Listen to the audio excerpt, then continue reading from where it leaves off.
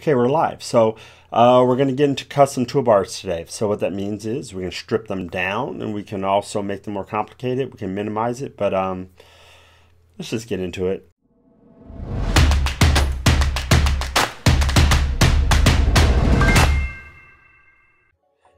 Now let's just go over customizing the toolbar.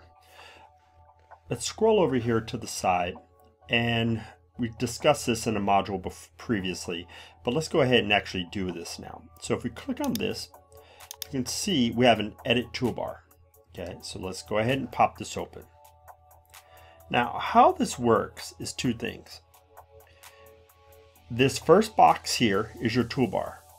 This is essentially the toolbar that's on your left side. So let me pull this over here a little closer so you can see them side by side. So what you see here is what you're going to see over here. Okay.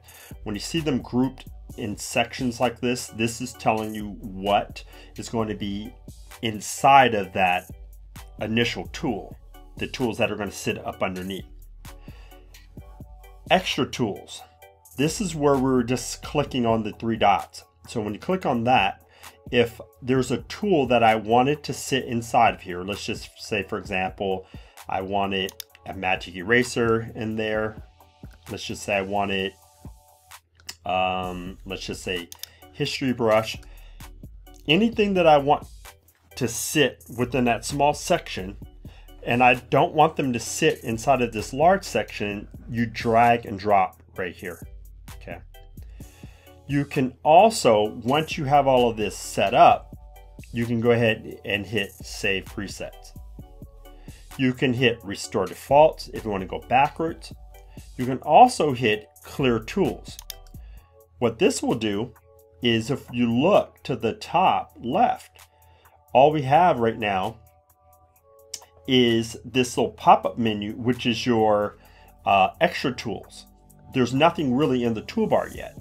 So what you would have to do is come over here and manually drag the tools that you would want to sit inside your toolbar. Okay, this is the main idea. Okay, you're going to drag over. If you drag on top, it drags so that it will sit underneath. So you can see, and let me just show you again. You put it right on top. See that little blue line? And that allows you to drop underneath. Okay. So if you continue to go through this whole process, let me just show you, you can hit a save preset. Uh, you can save this to your desktop. Just gonna call this, and again, I typically will do something like Revels uh, test, and actually I'm gonna do underscore trash because I'm not gonna use this. I just want to remind myself later on to get rid of it. Hit save, and now I'll have that on the desktop if I needed it. Okay, but if I hit done, now you'll see I have the tools here. If I click on this right here, this will show me full access of all the other tools. Now, right now I made something that's really not user friendly, but it was just to demonstrate the point of how to uh, manually set this up. If you go back in here, edit toolbar, restore defaults, and it sets everything right back to the basic default okay? Hit done and you're good as new, okay? So that's the toolbar and let's go ahead and move on to the next module.